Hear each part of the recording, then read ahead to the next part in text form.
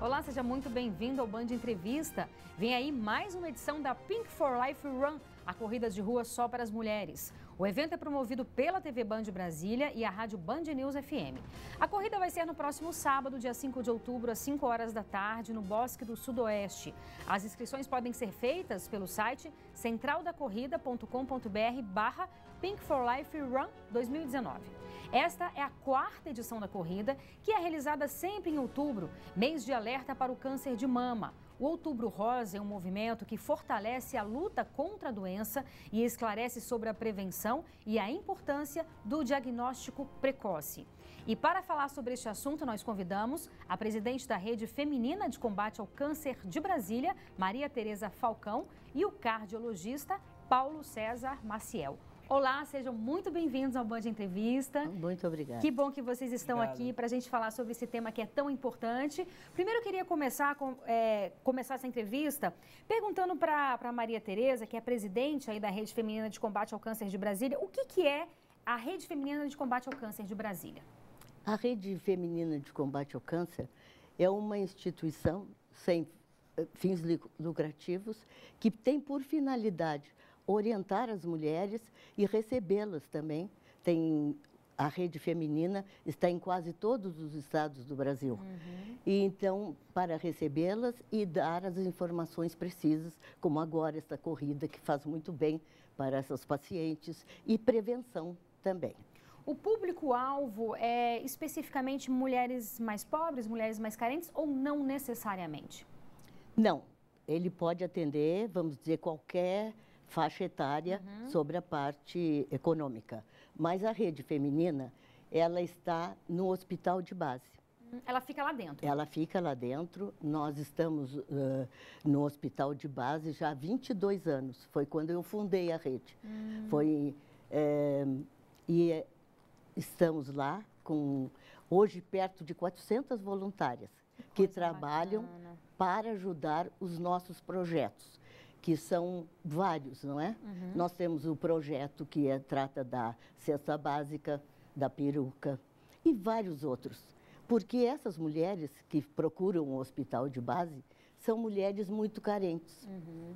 Elas saíram do mercado de trabalho, são mulheres às vezes muito jovens, outras mais velhas, com uma remuneração muito baixa ou nenhuma. Uhum. As mais velhas, às vezes, moram na casa dos filhos e procuram um hospital de base para fazer o seu tratamento. E nós, com o tempo, 22 anos de hospital de base, tratando com essas mulheres, nós fomos vendo que uma cesta básica, um vale transporte, faz muita diferença. Muita elas, né? diferença. É verdade. Ela mora às vezes na casa de uma filha ou é a própria filha que está com o câncer. Então a gente procura dar um apoio. Muito bem. Com cesta básica, com vale transporte. E depois vem a parte feminina da mulher, né? Uhum. Fornecendo uma peruca, essas coisas que ajudam muito, muito numa recuperação. Muito.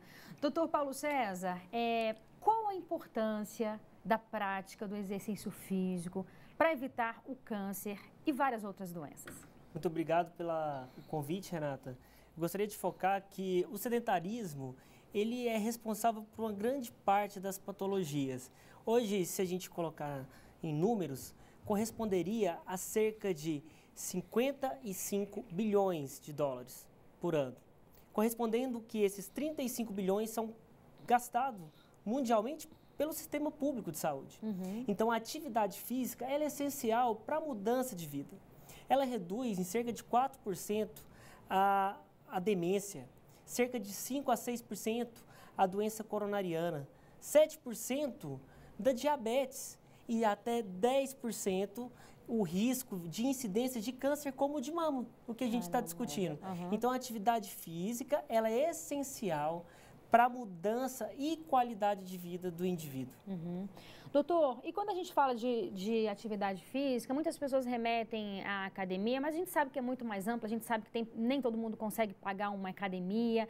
Que, que seria importante para uma pessoa que está em casa agora, que está no sedentarismo e fala assim, não, eu vou mudar de vida, eu vou começar com alguma coisa. Qual a principal dica que o senhor dá? Excelente pergunta, Renata. Para uma pessoa que quer iniciar atividade física e não tem nenhum exame, nunca realizou, vale a pena a gente avaliar principalmente pela idade. Se a pessoa tem menos que 35 anos de idade, a principal causa de morte quando está praticando alguma atividade física, a morte súbita, que a gente vê nos campos de futebol Sim. ou praticando alguma atividade, está relacionada a problemas congênitos. Às vezes pessoas muito jovens até, né? Isso, pessoas de 12, 15 anos, até no próprio campo de futebol, numa pelada de um fim de semana, a gente vê isso na televisão. E essas cardiopatias congênitas podem ser de detectadas, vista apenas às vezes por uma conversa com o cardiologista e um eletrocardiograma. Nossa. Um exame simples, uhum. a gente poderia reduzir em até 90% da mortalidade. Então, o exame físico complementar, um papo com o médico, se possível, uma avaliação do cardiologista é essencial. A Sociedade Brasileira de Cardiologia, na questão do esporte, orienta para esses atletas que vão praticar uma corrida, que é considerada uma modalidade de intensidade alta, pelo menos a realização de um teste ergométrico. O uhum. que é um uhum. teste ergométrico? É um teste que você vai correr numa esteira, vai colocar eletrodos em você, que vai monitorizar a sua função cardíaca. Isso a gente vai ver a pressão, se você faz alguma arritmia. E quando aquilo apresenta, na presença de um médico, a gente intervém. Então, isso muda totalmente a condução e orientação dessa pessoa com relação à atividade física. Uhum. Mas a atividade física é essencial para a mudança e para a qualidade de vida. Uma caminhada já seria o suficiente? Ótima, ótima pergunta. O que a, a sociedade, o Colégio Americano de Medicina Esportiva orienta? Você fa fazer pelo menos uma hora de exercício, de segunda a sexta, por exemplo, cinco vezes por semana, uhum. já seria uma atividade moderada, a caminhada. Por exemplo, agora, se você quer correr, quer fazer uma atividade de correr, ou, por exemplo, um futebol, que já é uma coisa mais competitiva, que você tem um gasto energético maior, aí você poderia fazer 20 minutos três vezes por semana. Então já mudaria. E para o hum. jovem? Quanto tempo ele fala? Jovem tem uma energia maior, né? É a gente sabe disso. Então, cerca de 60 minutos, uma vez por dia, ou seja, sete vezes por semana, poderia diminuir esse risco cardiovascular. Uhum. Isso seria uma, uma forma de prevenção importante, principalmente em nós, países de desenvolvimento, em desenvolvimento, porque a nossa meta do Ministério da Saúde é reduzir até em 2% a mortalidade de doenças não infecto-contagiosas, porque a gente diminuiu por causa da vacina e tudo. Agora, por que, que isso não muda, Renata? Por que, que a, a nossa paciente que está em casa não está fazendo atividade física?